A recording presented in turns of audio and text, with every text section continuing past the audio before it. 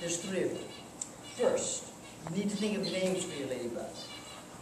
Um, I'll think Alexandra. You don't have to tell me yet.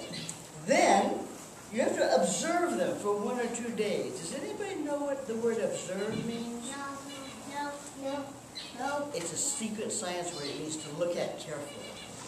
So just watch them carefully for one, maybe two days. And don't worry, you don't need to give them any more food. They've got this little plant in there, and they've got some little drops of water. You don't need to give them any more water. And then set her free outside on a plant near you. Yes? Um, do you get to keep them? Yes. Wow. And after you set her free, you don't need to bring the box back either. You can just keep it.